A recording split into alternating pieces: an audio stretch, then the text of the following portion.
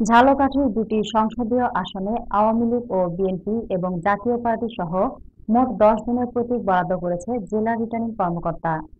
সোমবার সকালে জেলা রিটার্নিং কর্মকর্তা, ঝালকাঠি জেলা প্রশাসক মোহাম্মদ হামিদুল হক তার সম্মেলন কক্ষে প্রার্থী ও সমর্থকদের হাতে প্রতীক তুলে দেন।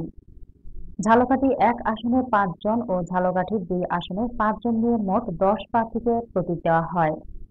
এদের মধ্যে ঝালকাঠি এক আসনে আওয়ামী লীগের প্রার্থী বজলুল হক হারুনকে নৌকা, বিএনপি প্রার্থী ব্যারিস্টার এম শাহজাহান ওমরকে ধানের শীষ, জাতীয় পার্টির প্রার্থী এম এ কুদ্দুসকে নাঙ্গল ইসলামী আন্দোলন বাংলাদেশের প্রার্থী মাওলানা মোহাম্মদ নুরুল হুদা ফয়েজিকে হাত পাখা ও এনপিপির প্রার্থী প্রবীণ মিত্রকে আম প্রতীক দেওয়া হয়।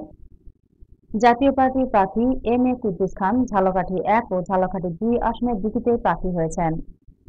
ঝালকাঠি থেকে খলিলুর রহমানের পাঠানো তথ্যচিত্রে একাত্তর বাংলা নিউজ